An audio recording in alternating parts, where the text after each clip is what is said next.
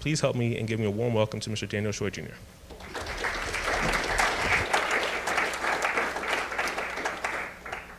Well, good afternoon. It is certainly a honor and privilege to be here with you to spend a little bit of time talking about poverty. But before I do that, and before I talk about the Eastlake Foundation, I actually want to acknowledge just one guest that I have here this afternoon, and that is my close and dear friend uh, who works here at Georgia Tech. Her name is Birgit Smith Burton. Birgit, wave to everyone. So you should know that Birgit is the executive director of Foundation and Corporate Relations, and I've known Birgit now since for at least 15 years, maybe a little bit longer. I've had the good pleasure of working with her on the um, National Center for Black Philanthropy on their annual conference when it was in Atlanta in 2003, Birgit. Um, and more recently on the Soul of Philanthropy, which is an exhibit on African American philanthropy and giving. So it's at the Auburn Avenue Research Library, which is just over the hill from here. So I'd encourage any of you to check it out. But Birgit is very approachable and friendly. So if you ever want to know anything about philanthropy and fundraising, Birgit is the go to person, and you have a gem in her on your campus. So I encourage you to get to know her. So thank you for being here, Birgit. And she got me here today because I got a little lost on campus getting here. But with that, I'm going to jump right in. So just do me a favor before we get too far in. Again, raise your hands if you are an, if you are an undergraduate student. Raise them high for me, all right? And raise your hand if you are in a graduate program, which would, I guess, be everybody else, right, by process of elimination. Um, so I want you, as you think about what I'm about to share with you, think about the business case for this model that I'm going to put forward. Um, think about the uh, education lens for those of you that are interested in education. Uh, and last but certainly not least, and probably most importantly, I'd ask you to think about the public health lens. And we're going to talk about why breaking the intergener- intergenerational cycle of poverty through this community redevelopment work is actually doing health work and what that means. Fair enough?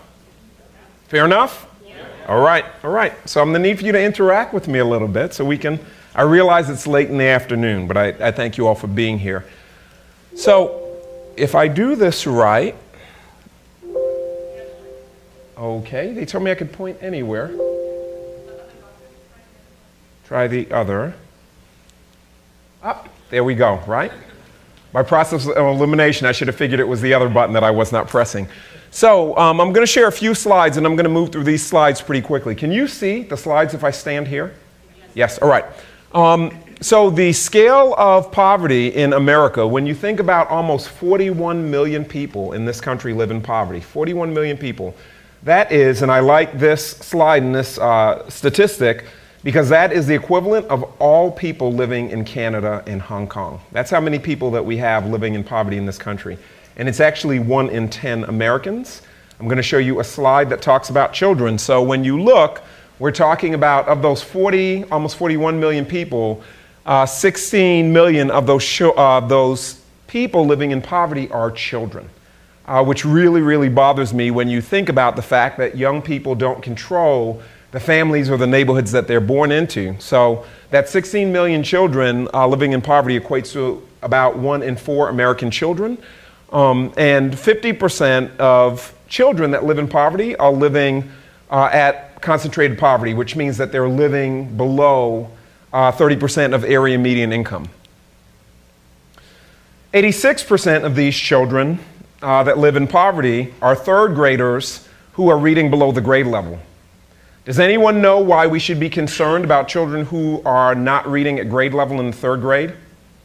And I know you're a smart bunch. So, wh- what do we predict in this country based on third grade reading scores? Yes, ma'am. Yes? Prison cells. Prison cells. Prison cells. Did anybody know that? Raise your hand if you heard that for the first time today. Keep your hand raised if you think it's fair that by the time someone is eighth grade, we've determined the rest of their life for them. Raise your hand high if you think that's fair. So that's why this should be sobering for you that we're making decisions for young people as young as eight years old because they will play the never ending game of catch up if they're not reading on grade level by the third grade. And that's six out of seven children. Way too many. So, I mentioned before that we're going to talk about health work, and I'm going to give you some uh, determinants of health in just a moment. This is an interesting uh, data point from the Robert Wood Johnson Foundation, which is a national foundation that does health work, supports health work. Uh, and I want you to look, this is New Orleans, and these are several different neighborhoods. So this usually works really well when I'm not talking to college students. Am I going to mess up the taping of this if I move around? Okay, all right, good. Um, so this doesn't work well when I'm talking to college students, unless you're non traditional college students, because none of you are near the age of 55 or over the age of 55. And for the adults in the room, I'm not going to dare to ask you if you're over the age of 55, because I know better. But look at the difference in life expectancy. So you're talking about this neighborhood right here, uh, which is where our model's been replicated uh, in New Orleans. And you look here, there's a 20 year difference in life expectancy. You're talking about less than three miles. Less than three miles. So, for those of us in the room, I'll be 45 next month. I'm not quite 55. But to think that if you're older than 55, if you lived in New Orleans, that your life would be over if you lived in this neighborhood right about now is also something that I find quite sobering. So, when I talk about the non medical factors that are barriers to health, we talk often about um, health. And oftentimes in this country, when we think about health, we tend to conflate it with health care. And healthcare is actually a very small percent of what makes up your overall health. So these are just a few um, stats that you can see, and you can see where the healthcare dollars are spent, largely spent on medical care, disproportionately spent on determinants that actually don't affect your overall health. Um, when you look, I like this because it does reinforce that only 10% of your health is actually influenced by your health care. So I'm going to give you a different way to think about this slide. When we think about our health, we tend to think about what our parents give us um, in terms of genetic makeup. We tend to think about behavior. We tend to think about where we live. And so, this genetic predisposition here. then we think about healthcare, we think about environmental exposure. Well, guess what? When we think about these two elements, this is largely influenced by where you live. Anybody disagree that your behavior might be influenced by where you live? Your social circumstances, your environment. And I'd even somewhat say that, and my friends at Emory, which is my alma mater, who are medical school students, would probably argue me to death on this point. But when you even think about your genetic predisposition, I'd also argue with a little bit further research that a clear case can be made that your genetic predisposition can also be determined by the place where you live. So, place really does matter. We already talked about this a little bit that health does not equal health care. So, I won't spend a lot of time, but other than to say, when you think about increasing someone's life expectancy and increasing the factors that influence their health, when you think about one's education, income, and neighborhood, so again, it goes back to place, that all these things matter. And I'd even argue here, again, that these two things, education and income, are very much influenced by where you live. So what I want to do is talk to you about a place that's near and dear to my heart, not because, not only because I'm the president and CEO of the Eastlake Foundation, but I've lived in Atlanta now for 25 years, came to Atlanta in 1991 to attend Emory University. And if you did the math, that's 26 years. There was one year that I moved away from Atlanta for work and uh, moved back. No place like Atlanta. And I want to talk about Eastlake Meadow. So, uh, just again, by show of hands, and, and I don't want to isolate the adults in the room, raise your hand if you were born uh, by 1995. Just raise your hands for me. All right? Now keep your hand up. Keep, raise your hands again. Keep your hands up if you've lived in Atlanta prior to 1995. All right, so a few, only a few for one, two, three, four, five hands. So you may know Eastlake Meadows because it was referred to as Little Vietnam. And it was referred to as Little Vietnam because the neighborhood was really a war zone.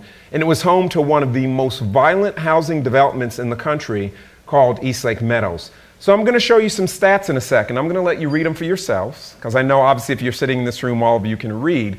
But what I want you to think about are how these statistics, um, how high crime, how high unemployment, how low educational attainment all factor in to the outcomes of a community. So you can see, and actually I said I wasn't going to read them, but the safety ones I do want to read to you that the crime rate in, in Eastlake was 18 times higher than the national average. Um, you were more likely to be a victim of violent crime than you were to graduate high school, and I'll talk about that in just a minute. And a $35 million a year drug trade. How does a $35 million a year drug trade exist in a neighborhood? Right? I mean, unless you have incredibly smart criminals and they can do it on their own, there has to be a set of systems uh, that allow for something like this to happen. So I like to say that people were being entre- entrepreneurial in the old Eastlake Meadows, but not in a productive way. This was a neighborhood that was really feeding, a community that was feeding on itself. Then, when you look at the housing, uh, it was all public housing in Eastlake Meadows. And to think that people were living, almost half of the apartment units that were there were unlivable. The employment, no one believes me when I say this. When I talk about the employment being 13%, people always say, surely you mean that's unemployment. That was 13% employment. The majority of adults are relying on welfare. Um, and I would say to you, when you look at the median income, even if you think of $4,500 and you think about that as income, even if you control for inflation, raise your hand if you think back then that you could live off of that if you were a single parent raising a family of three children. Anybody think they can live off of that? I'm willing to bet that for most of us in the room, that even if we control for inflation, we probably would have a hard time living off of that for two or three months, let alone adults living off of that for a year. And then the education statistics were the most sobering. So the Drew Elementary School that was once there was the uh, poorest performing, lowest performing elementary school. It was 69 out of 69 Atlanta Public Schools elementary schools, and one of the lowest ranked schools in all of the state of Georgia. And the CRCT, so where are my people in here? Raise your hands if you think you know education decently well. If you follow education, you don't have to know it really well. So I see a few hands. You probably know that the CRCT, which is our state standard, is a really low bar. So when you think about the fact that less than 10% of fifth graders were able to meet or exceed that standard, and it already is a low bar, it says a lot. So I have a video that I'm hoping, if I do this right, will play. Two guys got in a fight right close in front of my house. I saw one peep his head around the corner, pow, pow, pow. It was just like you was in a, a movie, western movie. Eva Davis moved into Atlanta's East Lake Meadows housing project in 1971. It wasn't long before murder and mayhem became a way of life. He ran right by my car and blood was just shooting out, out of his body. That guy shot him and he fell dead right before my face. The 650 unit housing project was never great, but when drugs took over and gangs claimed turf, it went from bad to horrible in a hurry. They would shoot and cut and stab and kill each other. That's what they did. By 1995, the crime rate was 18 times the national average. This was Eastlake 10 years ago, and this is Eastlake today. Torn down, rebuilt, utterly transformed. Clean, safe, family friendly. This was a pretty hellish place. Really? it's hell. So I wanted to show you that so that you would see what Eastlake Meadows looked like. And I promise you that picture that you saw, the aerial view of what it used to look like, was probably taken on a good day in the spring. Because normally, for the residents that lived in Eastlake Meadows, many of whom I've kept up with, will talk about what they really remembered was the mound and mound of red clay. This was really a desolate place. Eva Davis was the only president of the Tenants Association of Eastlake Meadows. She was uh, hands down the biggest opponent of the redevelopment when Tom Cousins came knocking. Any, any of you know Tom Cousins? Raise your hands if you've heard of Tom Cousins before. So you've probably heard of Tom Cousins as an entrepreneur. Uh, he started Cousins Properties, which has built most of the iconic buildings and commercial buildings in downtown, midtown, and Buckhead, and also across the country.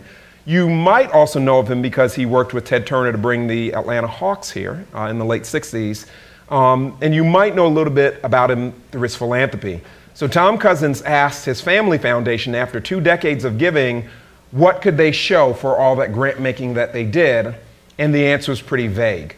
At about the same time, Tom Cousins read an article in the New York Times that talked about the fact that the majority of uh, criminals in the New York penal system came from eight neighborhoods in New York City.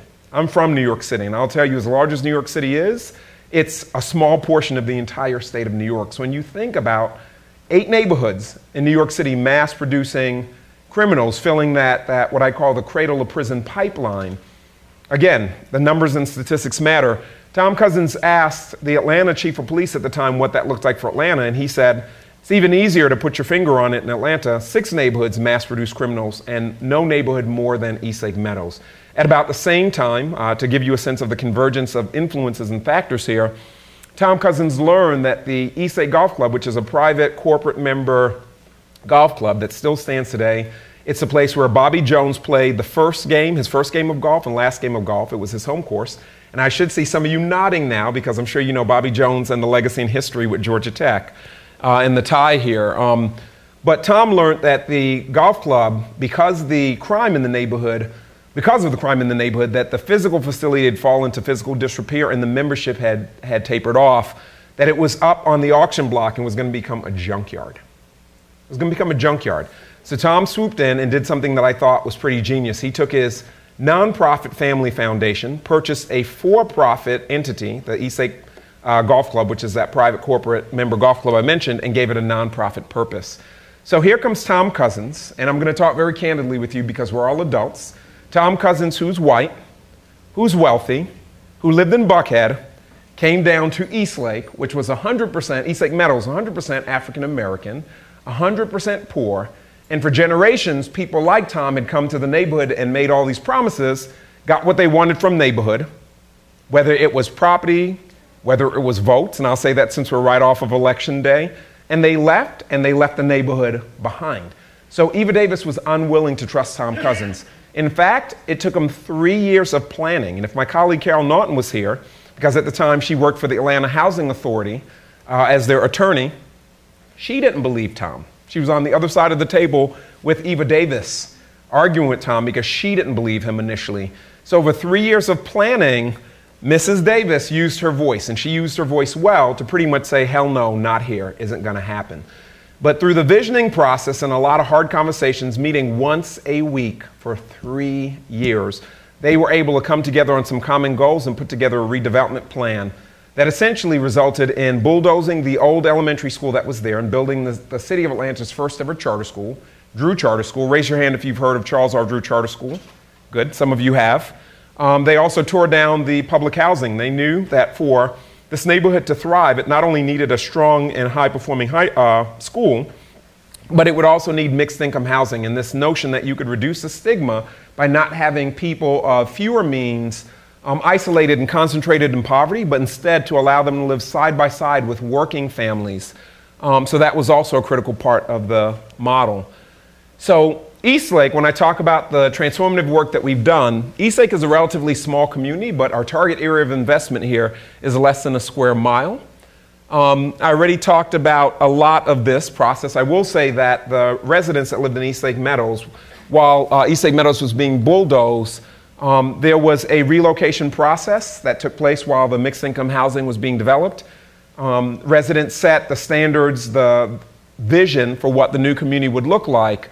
Um, one of the things that was decided was that if you had a felony or if you had adults who were not working and not moving in a direction to work, that you could not come back to the mixed income housing and live in a subsidized apartment unit.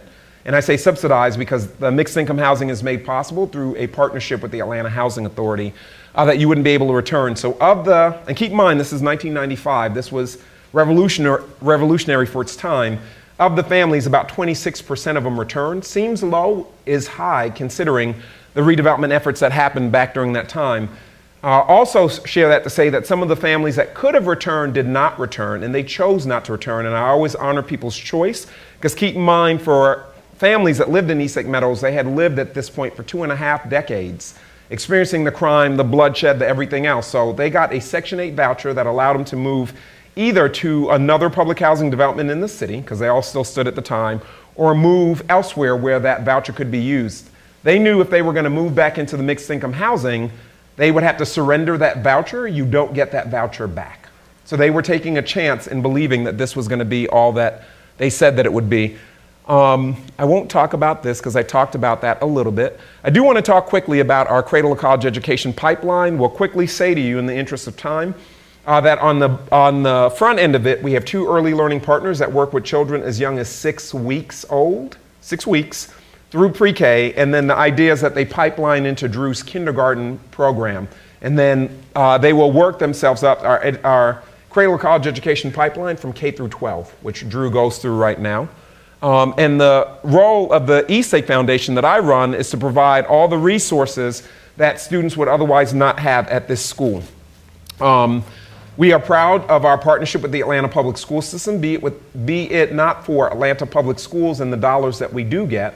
We don't get the same amount of uh, cost per student that the traditional public schools get. Um, we're getting about 3,000 less per student that we educate at Drew Charter School. But again, be it not for the partnership with Atlanta Public Schools, we would not be able to have Drew Charter School. Um, we also promoted community wellness, so it meant having a partner like the YMCA, specifically the Eastlake uh, Family YMCA, new facility in our community to be the anchor for recreation and wellness. Having uh, access to golf was important to the residents, so we are one of two first tee programs in the city of Atlanta. Um, having a grocery store. This, had been, this neighborhood had been a food desert for 40 years. So, for folks who are interested in health, think about your health outcomes if you have no access to food um, other than the high sugary snacks that you might be getting overpriced at the gas station. And then we also have a program that helps residents uh, to get connected to employment or if they're underemployed to higher levels of employment. Um, the important part of this work was that we decided to create a community quarterback or a backbone organization. For those of you that have heard of the collective impact model, they talk about a backbone organization. That is the organization that I run we're the organization that's responsible every day for getting up and worrying, or not worrying, that's, that's me inserting myself, thinking about the cross pillar partnership that I'm going to show you in this model in just a second, making sure that all of our public and private partners are communicating with uh, each other and the level of accountability. This is one of my favorite pictures. This is a young man who was part of our inaugural graduating class from our high school last year. 82 students, all 82 of them graduated high school, all 82 of them were accepted into college. Uh, just found out that 85% of them enrolled in college. So we have 10 to 12 students who did not this fall, some who are going in the spring, others who are saying they wish they had made the decision of college instead of work and now that they're out in the working world. But Alvin is a freshman at Yale.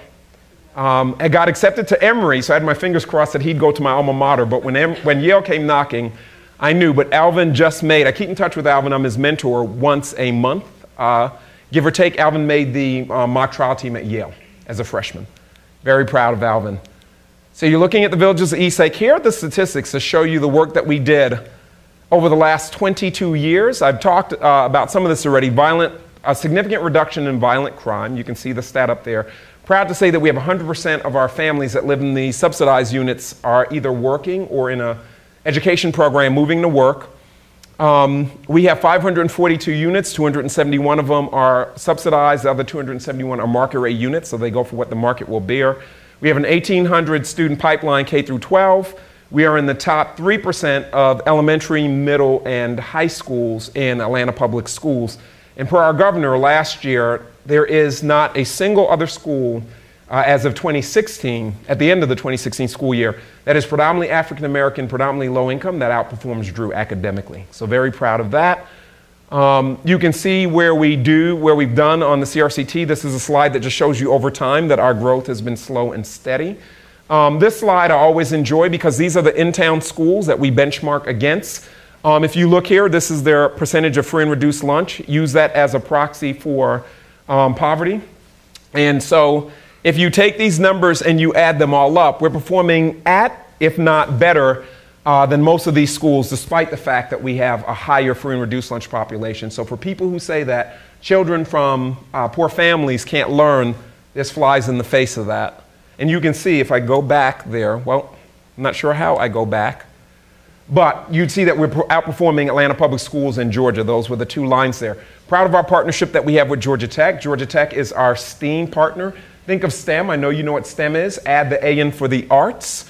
Um, we also have our eighth graders here on your campus for two weeks over the summer after they complete the eighth grade to prepare them to transition to high school.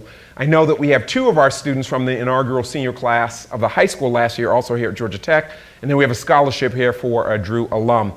$400 million return on investment in terms of the private investment that we bought, so that's the business case. Um, increase in home values, and again, all the good outcomes that show the progress that we made. This is the model that I talked about, so I won't go back through it. Mixed income housing, uh, critical, cradle college education pipeline, community wellness, and then the community quarterback, a backbone organization, which is Eastlake Foundation.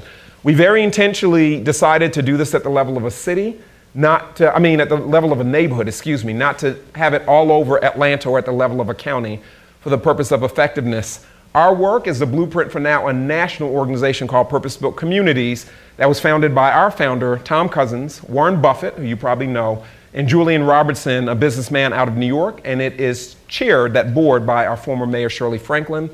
Um, our goal, in my last few slides here, if you bear with me, is to be able to have an impact in 820 uh, neighborhoods that we know have concentrated poverty um, that account for 14, um, 14 million Americans of the almost 41 million that I mentioned before.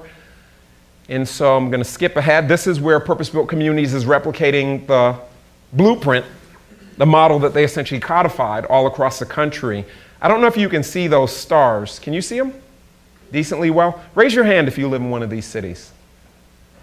So, one thing you can do beyond today is if you're interested, you can email me. I'll give you my email.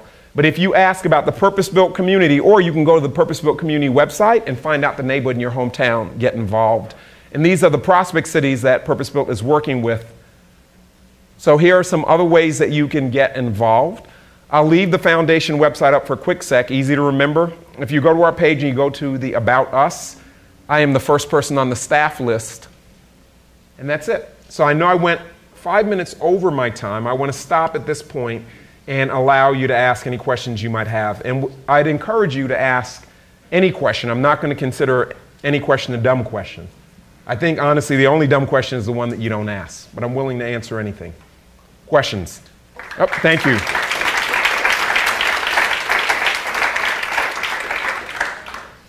Yes, sir.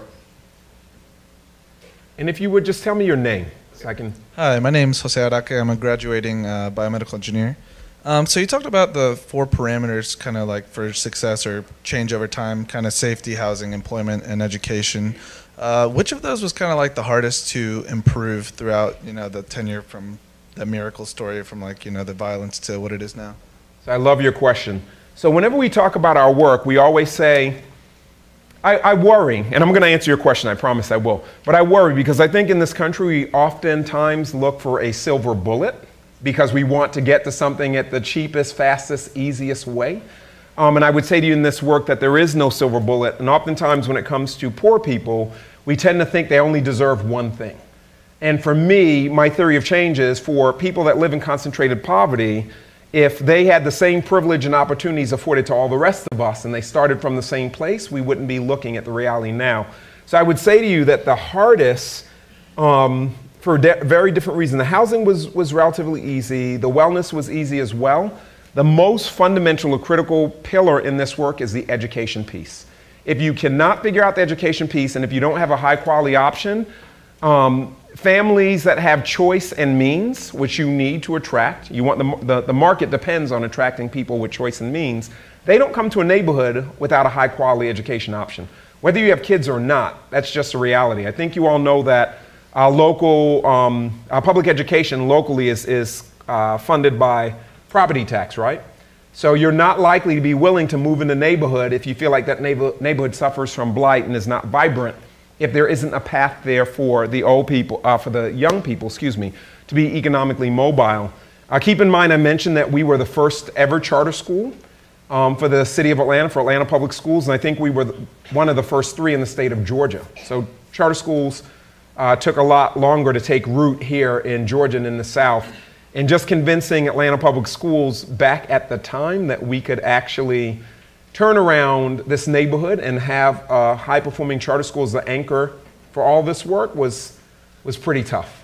Was pretty tough. And as we've grown, by the way, I would also say to you, going back, as, as our results have gotten better, our superintendent that we have right now, Dr. Meria Carstarphen, has been a wonderful supporter, tremendous supporter. And she sees the benefit of giving families and neighborhoods choice when it comes to education. But previously, um, what gave me gray hair, and ultimately what probably caused me to lose a little bit of gray hair I had, was continuing to make the case that choice is important and that charter schools are one of the options in the choice conversation in what's good for families, students, and communities. Other questions? Yes. Yes, ma'am. Well, I'll just have no mic. So, hi, I'm Courtney. I'm a fourth year computational media major here at Tech.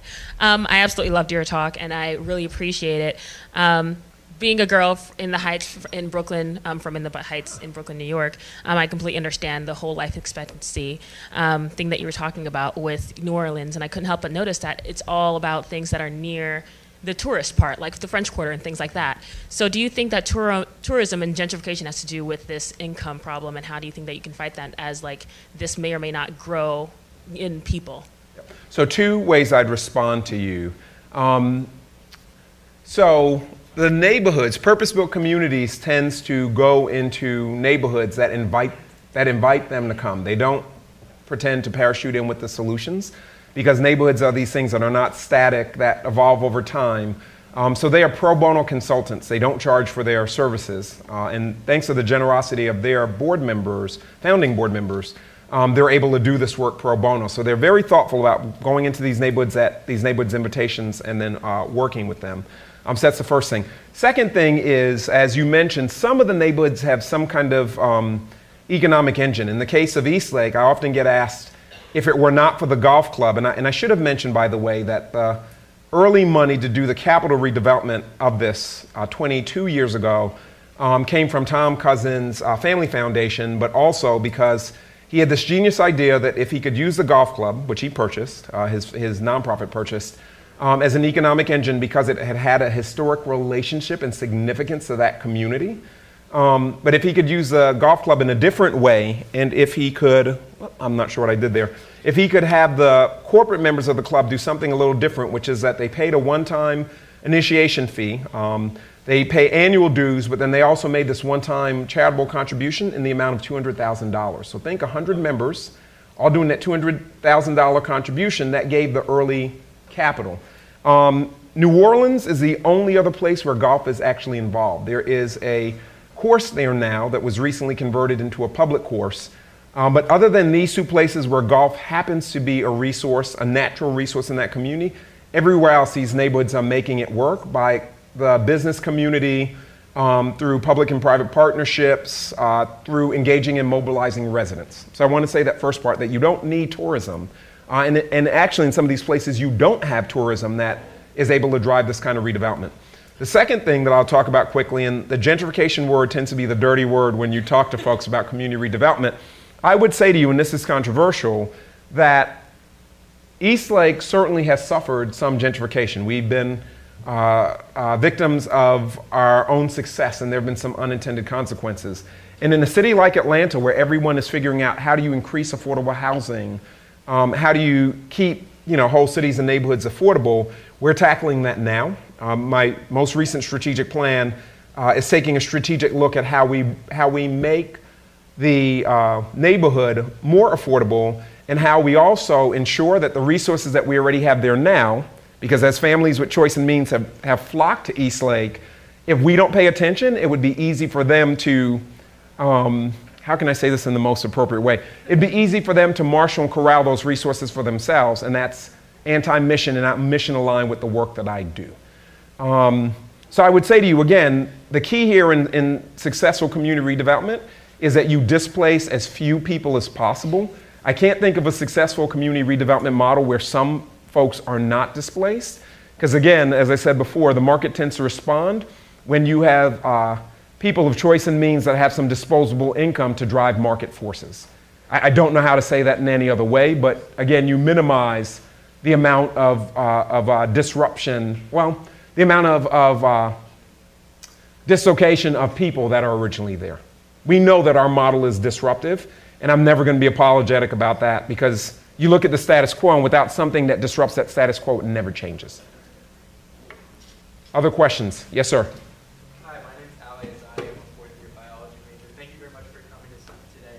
Uh, I was wondering, you kind of discussed earlier how the Eastlake Foundation's role is in accountability, and this is obviously a very huge transition that Eastlake has made. Uh, what did that accountability kind of look like?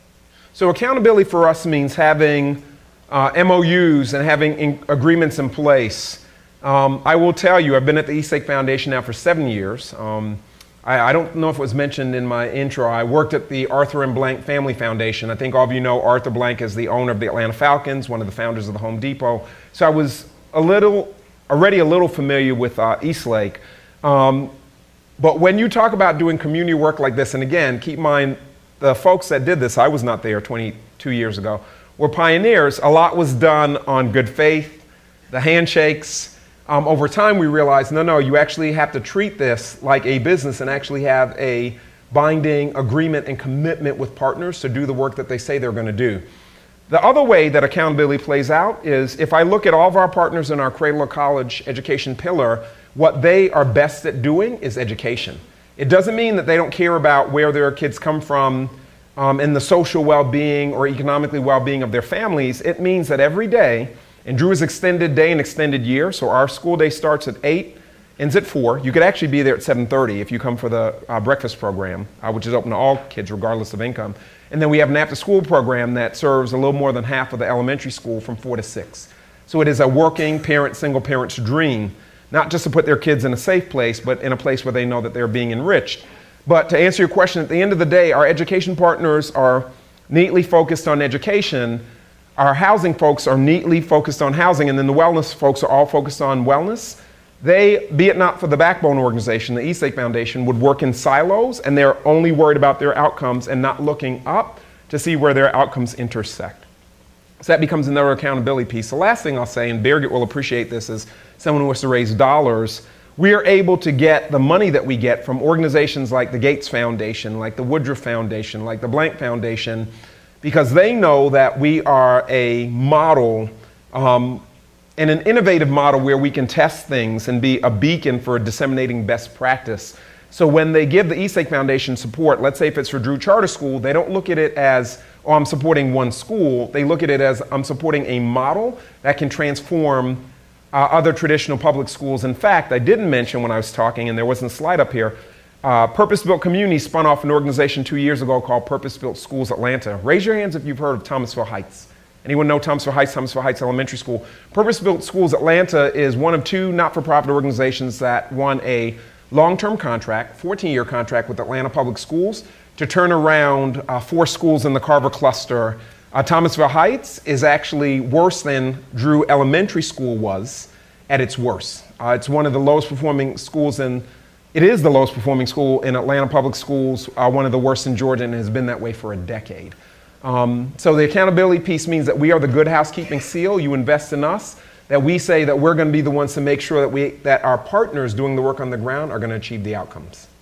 Yes. Yes, sir. So following up a little bit on your discussion of gentrification, the community disruption, uh, well, my name is Andrew, by the way. and I appreciate you, you, coming to speak. Um, my question would be: Is what are some of the metrics that you use to determine that the intergenerational poverty is actually being broken rather than relocated?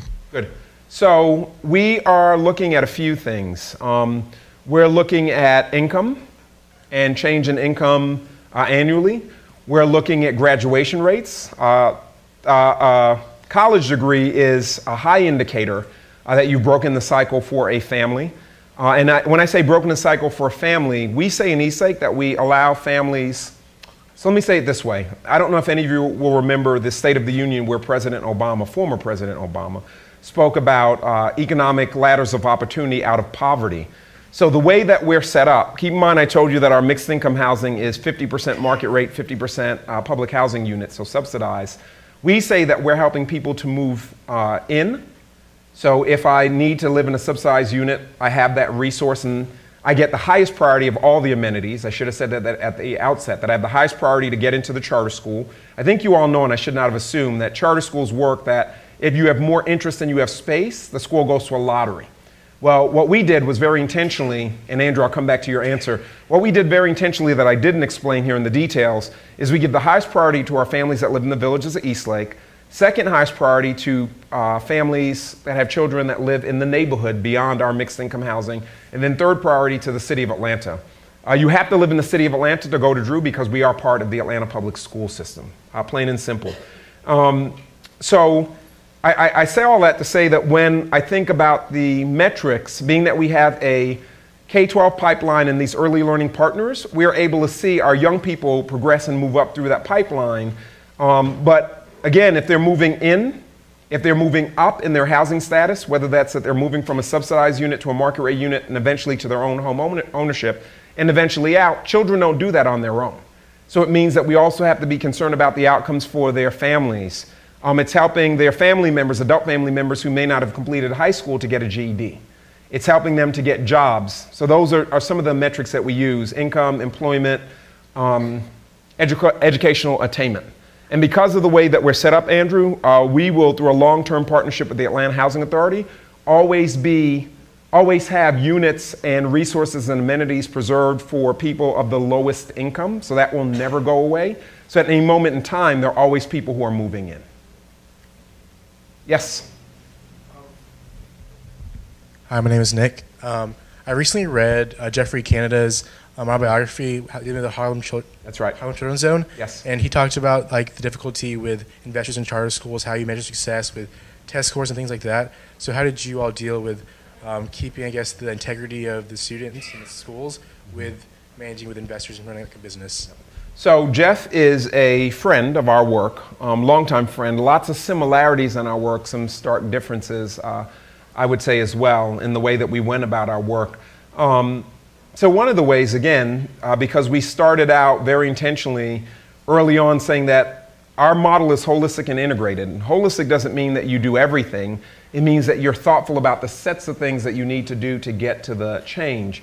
Um, so, because we've had the good benefit of having this cradle to college pipeline, I should have mentioned before that we have um, low. Uh, uh, or high student, I hate the word retention because it gives the wrong impression, but we have low student attrition. That's what I'm looking for, and low teacher attrition. So it's easy to track um, the progress of our students. Um, I struggle a little bit because we do test our students a lot. Um, we do take the, had been taking the CRCT. For those of you that follow education, you know that's been replaced by the Georgia Milestones, uh, milestone, but we don't only want to know how our students are doing compared to other students in Georgia, we want to know how our students are doing on nationally norm reference tests. So we do still take the ITBS and the um, NAEP.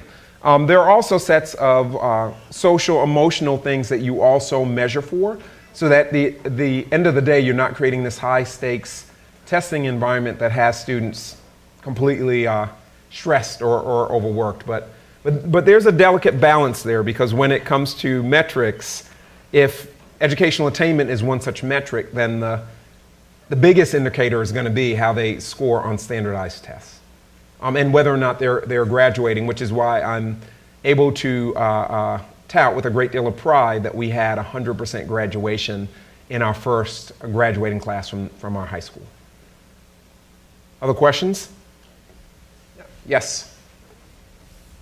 Hi, my name is Emily, and thank you for coming today. So, I guess I'm a little more curious about you and your leadership style as well. And I know you mentioned you went to Emory. So, what sparked you to get into this sector, and do you feel like your higher education truly prepared you for what you're doing today? Okay.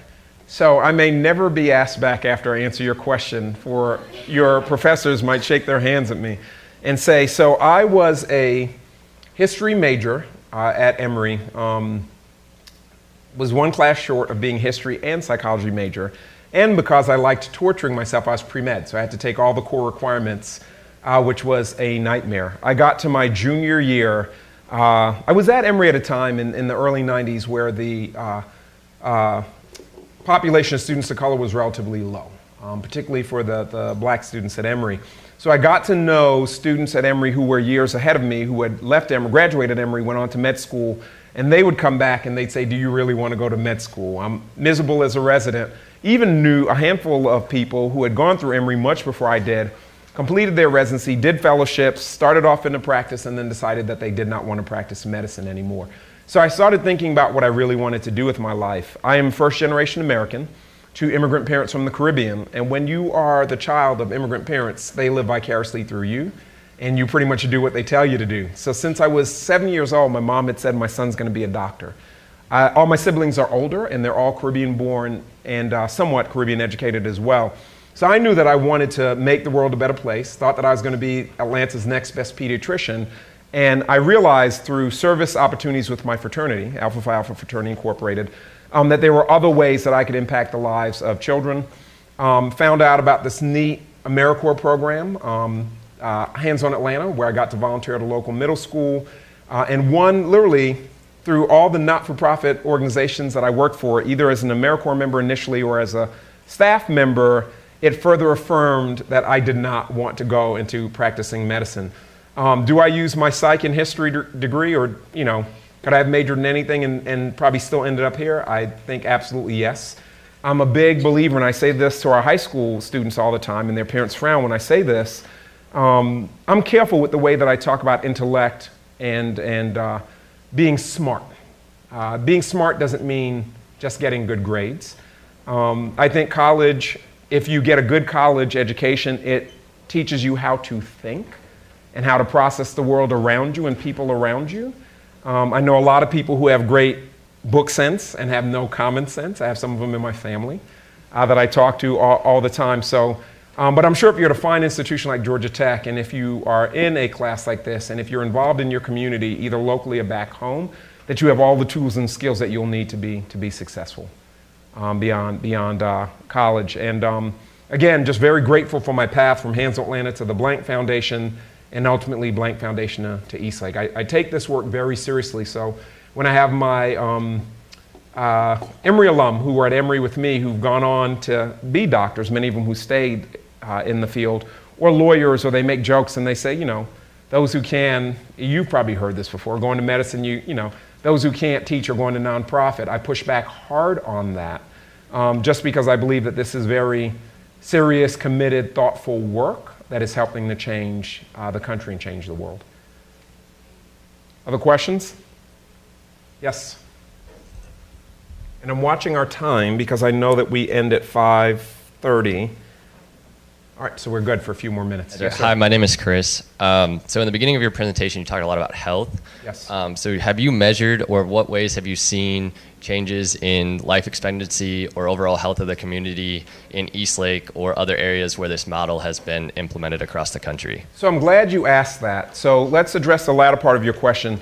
Of the 18 communities where purpose-built communities is uh, using this model, so Eastlake Foundation is the founding network member in the genesis of this national network. Eastlake Foundation is the furthest along. The next two furthest along are Indianapolis and New Orleans, and they are, so Hurricane Katrina happened in five, six, so they are a little more than 10 years into their work. Um, and when you're in the earliest stages of this work, you focus on the capital uh, improvement that needs to happen building the mixed income housing, uh, building the high school. Certainly, we have the benefit of having uh, Cradle of College Education pipeline fully realized. That didn't happen overnight. Because uh, I mentioned we just graduated our first high school class um, earlier this year uh, in May of 17. So, our health work, when we talk about health and wellness as a pillar, largely that work was economic wellness, it was uh, food access and dealing with food insecurity. Only in the last three years have we delved into physical health and wellness work. And uh, because we're only three years in, we have some early indicators that our Eastlake Healthy Connections program is, has been a successful pilot, but we haven't had the longitudinal span of that health work yet to be able to talk about uh, a difference in life, life expectancy. Um, but what I will say to you is if I look at life expectancy, uh, what it was back in 1995, and I think about the seniors who moved into the villages of Eastlake when it opened in the late 90s after it was built, and a, va- a fair amount of them still around. So, something has worked and something has changed the trajectory to allow them to live well past the life expectancy that they would have had had the neighborhood not been transformed. So, so uh, uh, Nick, right? Chris. Chris, Chris, to be continued on your question as we have a few more years into doing our physical health and wellness work. We have probably have time for one final question. Yes? One final. Yes? My name is Kira. Uh, thank you for coming today. Um, I, think this is a good, I think this is maybe a good wrap-up question. Um, what challenges are Eastlake, the East Lake Foundation and purpose-built communities facing today as you are, you know, 20 years into the implementation of these models? So I would say to you quickly that the biggest uh, challenge that we face is we say that this is well, I'd say this the way that Tom Cousins says it, and I know you're college students with adult ears, and uh, Tom is a very frank person, but I would say that, that, that we say that this is not work for the, the faint at heart.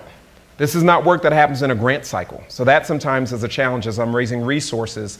We have a $5 million annual budget. Uh, a little more than 50% of it comes from something golf related that we're grateful to have the Eastlake Golf Club as a resource. Tour Championship, if any of you keep up with golf, gives us a fair amount of money. Our Celebrity Invitational and NCAA tournament that we do. Actually, Georgia Tech was in the men's tournament in the Eastlake Cup last year, which was the second year of doing that. But as I have to raise that other two and a half million um, dollars, sometimes it's a challenge to explain to a funder this is, you know, you give me a one year grant or you give me a three year grant, I can give you progress outcomes. But for the longer range outcomes and goal of this work, it's not going to happen over a short amount of time. Um, I would say another big challenge is protecting the resource. So I have well intentioned families who will say to me all the time, you know, the biggest issue with our work is that they all can't get into Drew Charter School. Um, and then I remind them that, again, our mission says that we protect the resource for those who need it the most. Our elementary school, well, Drew, once upon a time when it was only, only elementary school, was uh, 100% African American, 100% free and reduced lunch. Today, after the, the, last school year, we're now down to 42% free and reduced lunch. Um, so the diversity, economic diversity and racial diversity is good, but the economic diversity is what keeps me up at night because I'm raising private dollars to say that we're helping kids who otherwise would not have this resource when in fact we have more um, students that are of means and great means who are tapping into the school. So it's, it's keeping that balance, that can be uh, really tough. And then the last thing I'll say is the affordable housing piece.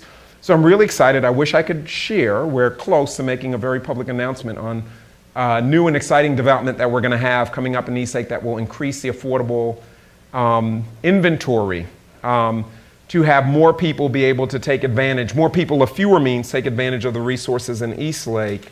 Um, but that's something, again, that I think about all the time because if you've moved into the neighborhood in the last nine or eight or nine years, and you say, I moved into Eastlake, bought a home for my kid to get into Drew, but they can't get in because there isn't space. Or if you say you've solved the problem of poverty, why would you want to bring more people of fewer means here? That sometimes is a little bit of a challenge to have those conversations in, in neighborhood and to reinforce our, our mission and what we're supposed to be focused on. All right, so please give another round of applause to Daniel. Thank you so much.